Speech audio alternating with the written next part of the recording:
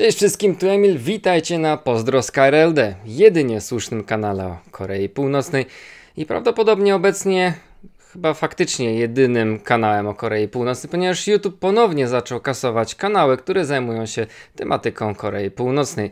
Jeśli chcecie się dowiedzieć nieco więcej na temat, to zapraszam do oglądania tego odcinka na temat tej mini dramy.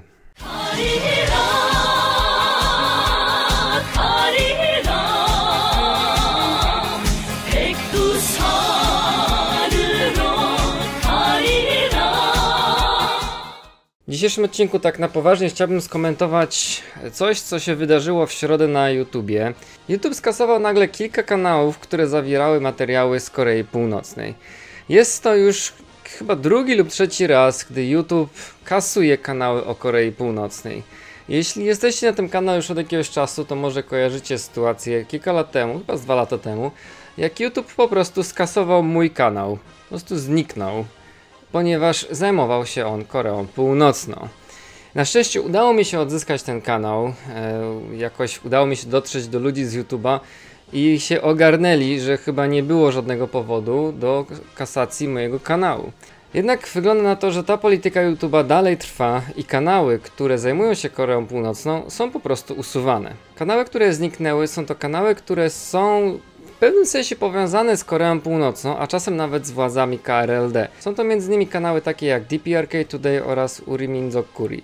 Na tych kanałach można było znaleźć przede wszystkim newsy z Korei Północnej, były fragmenty wiadomości z Korei Północnej, z północno-koreańskiej telewizji. Część tych kanałów, które YouTube usunął, znajdowała się w posiadaniu faktycznie północno-koreańskich władz, oni wrzucali bezpośrednio z Korei Północnej materiały z telewizji na YouTube i mieli własne kanały, prowadzili te własne kanały. Kanały te w pewnym sensie były taką tubą propagandową KRLD, ale nie wszystkie kanały, które zostały usunięte w środę, były sterowane przez władze KRLD. Niektóre z nich e, były w posiadaniu osób, które po prostu interesują się Koreą Północną przez Stowarzyszenia Przyjaźni Północno-Koreańskiej, a także jeden z tych kanałów był w posiadaniu mojego wiernego patrona widza który miał kanał Pyongyang TV i po prostu streamował telewizję północno-koreańską. Jaki był powód usunięcia tych kanałów? Jednym z powodów, między innymi o tym pisze NK News, są sankcje gospodarcze na Koreę Północną. Otóż te sankcje to jest taka efemeryczna rzecz, która gdzieś tam jest i jak tylko ktoś słyszy słowo Korea Północna, to od razu się boi tych sankcji. Szczególnie to dotyczy oczywiście wielkich korporacji, które nie chcą mieć nic wspólnego z Koreą Północną i dlatego YouTube prawdopodobnie skasował te kanały, ponieważ nie chce być oskarżony przez kogokolwiek, że w jakikolwiek sposób wspiera Koreę Północną, na przykład finansowo. Pamiętam, że jak był dwa lata temu skasowane te kanały, to między innymi jeden z argumentów był taki, że te kanały miały włączoną monetyzację, czyli mogły zarabiać pieniążki na rząd Korei Północnej. No te kilka dolarów za censa nie wiem w jaki sposób miało wesprzeć północno-koreański program atomowy, ale najwyraźniej YouTube się tego po prostu boi. Ale wiecie, w tym wszystkim najbardziej bulwersujące jest to, że YouTube nagle może skasować jakikolwiek chce kanał. Oczywiście rozumiem, jest to firma prywatna i mają do tego prawo, można powiedzieć, ale y, że mogą skasować kanały o Korei Północnej tak po prostu, bez żadnych dowodów i mogą nawet skasować kanały, które nie są powiązane z Koreą Północną, czyli nie są objęte żadnymi sankcjami, na przykład yy, kanał yy, jednego z moich widzów. Jest to naprawdę bulwersujące, bardzo niepokojące. Nie wiem, czy mój kanał także jest yy, na tej czarnej liście, prawdopodobnie jest czy on także będzie do odstrzału kolejnym razem, przy kolejnej czystce? Może jest kolejna już planowana? Wyczyszczenie już ostateczne wszystkich kanałów o Korei Północnej na YouTubie? No nie wiem, no dla mnie to jest w ogóle niepojęte, że do takich sytuacji dochodzi.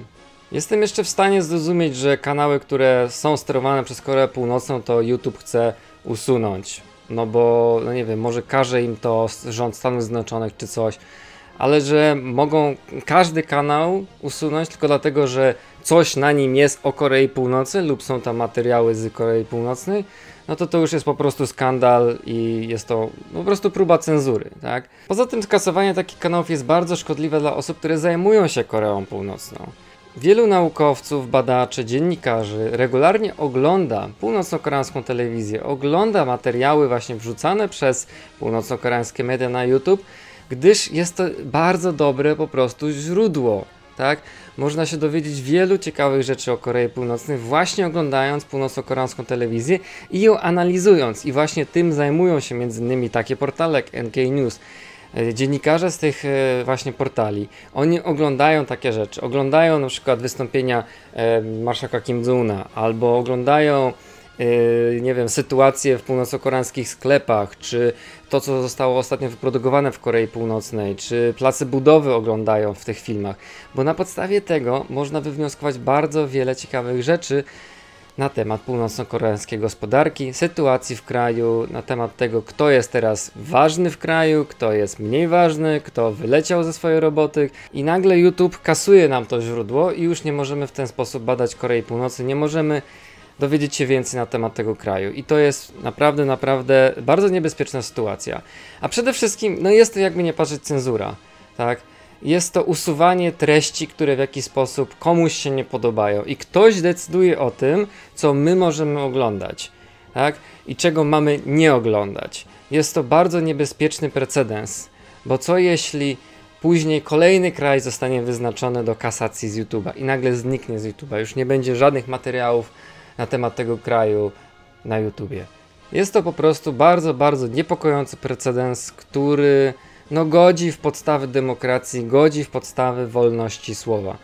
I, I teraz dla mnie to jest w ogóle niezrozumiałe, jak my możemy krytykować Koreę Północną za łamanie, y, nie wiem, wolności słowa, czy za brak wolności słowa w Korei Północnej, za cenzurę w mediach, skoro Zachód robi dokładnie to samo. Czy to nie jest to samo, co robi Korea Północna? Kasowanie jakichś treści momentalnie bez żadnego wytłumaczenia? To jest dokładnie to samo. Więc jak my, prawda, ludzie na zachodzie, możemy dyktować Korei Północnej, jak oni mają tworzyć swoje media, skoro robimy dokładnie to samo? U nas także jest cenzura. U nas także kasuje się treści, które komuś nie odpowiadają, które komuś się nie podobają. Niczym to się nie różni od sytuacji w Korei Północnej. I nam się wydaje, że żyjemy w demokracji, że mamy wolność słowa, ale widzę, że na YouTubie tej wolności słowa jest coraz mniej. Tak? Po pewnych rzeczach nie można mówić na YouTubie, nie można mówić pewnych słów, nie można mówić źle o pewnych już krajach, prawda? Są chronione przez YouTubeową cenzurę i widać, że ta YouTubeowa cenzura wkracza w kolejne po prostu a, sfery po prostu naszej wolności słowa. I teraz już nie można prowadzić kanału o Korei Północnej? Jest to zakazane? Nie wolno? To co, to teraz YouTube skasuje kanał każdemu youtuberowi, który nagrał, nagrał vloga z Korei Północnej? No mam nadzieję, że do takiej sytuacji nie dojdzie, ale już sam fakt, że te kanały są usuwane jest bardzo, bardzo niepokojący. Jest tutaj duże pole do nadużyć, tak? Ktoś może ponownie usunąć czyjś kanał, ktoś nad, pracuje nad tym kanałem, tak? Wkłada w to wysiłek, yy, ma takie zainteresowania, na przykład właśnie ten mój patron, tak, nasz widz, który stworzył ten kanał, który streamował telewizję północno-koreańską, który tam wrzucał pewne yy, materiały. On się tym fascynuje, on się tym interesuje, ma takie hobby, to go po prostu ciekawi. No i co? Zostało mu to odebrane, tak po prostu. Bo poleciało wszystko. I następnym razem coś takiego może także się wydarzyć y, innym twórcom, którzy tworzą na jakiś temat, który może jest na tej czarnej liście, tak, liście nacenzurowanym. No nie wiem, jest bardzo, bardzo niepokojące. Mam nadzieję, że YouTube nie będzie jednak prowadził takiej polityki, że te kanały o Korei Północnej zostaną przywrócone, ponieważ zostały skasowane bezpodstawnie. Jest to ważne e, źródło informacji na temat Korei Północnej. Czy się boję o swój kanał? Częściowo tak. tak. Już kiedyś mi skasowano kanał, raz czy dwa. Nie wiem, no może znowu mi go skasują, zbanują. Mm, I wiecie co, mam już na to trochę wyje... Po prostu. Bo yy, no jak, jak ja mam prowadzić kanał, jak po prostu się mam bać cały czas o to, czy on zostanie mi skasowany tylko dlatego, że jest o Korei Północnej, tak? No to jest absurdalne. No nie jestem w stanie przecież cały czas o tym myśleć przy wrzucaniu każdego uploadu, codziennie rano wstając, czy mój kanał dalej istnieje. Bo faktycznie może dojść do takiej sytuacji, że mój kanał zostanie usunięty. Tak, tak po prostu. No i co ja mam codziennie myśleć o tym, wstając rano, czy on dzisiaj będzie, czy go nie będzie. Prawdę mówiąc, po prostu mam to już gdzieś yy, i, i nie myślę na ten temat, tak? Jak zostanie mój kanał nagle skasowany tylko dlatego, że jest o Korei Północnej, wiecie co, no to... To po prostu e, chyba po prostu udowodni to, co teraz powiedziałem, że nie ma wolności słowa, że jest cenzura na YouTubie, że wcale się nie różnimy aż tak bardzo od Korei Północnej, jeśli chodzi o, o wolność słowa na Zachodzie. Więc serio, następnym razem, jak będziecie krytykować Koreę Północną za brak wolności słowa, za cenzurę w mediach i tą ich propagandę, którą mają w telewizji północno-koreańskiej, to zastanówcie się, czy wy sami nie jesteście poddawani jakiejś propagandzie, bo północno-koreańska propaganda przynajmniej jest tak zrobiona, że każdy wie, że jest propagandą. Nawet sami Koreańczycy wiedzą, że to jest po prostu propaganda i wiedzą, że temu nie muszą wierzyć. Wiedzą, że tutaj to i to może nie do końca jest prawdą. I Koreańczycy nie są głupi, wiedzą. Ale my żyjemy chyba w takich czasach, w takich yy, warunkach, że my nawet nie wiemy, że jesteśmy manipulowani, że ta propaganda jest nam wciskana, a my myślimy, że tak naprawdę mamy wolność słowa, że to są nasze myśli. A ktoś chyba tym także może po prostu sterować. Więc zastanówcie się następnym razem, gdy coś będziecie oglądali w mediach, w telewizji, politycy, gdy będą wam coś mówili, bo może do końca to nie jest aż takie oczywiste. Więc ja, ja kończę ten, ten vlog, taki, taki mój rage, rant, prawda? Mój komentary na temat tej sytuacji, która jest bardzo, bardzo po prostu niepokojąca. Mam nadzieję, że jutro mój kanał oczywiście dalej będzie, że nie zostanie skasowany. Ale serio, jeśli w pewnym momencie on po prostu zniknie, to wiecie dlaczego on zniknął. Po prostu YouTube. Znowu kolejna czystka, kanały Korei Północnej. Pff, wywalamy na śmietnik, po, tak po prostu. No i tyle w tym temacie.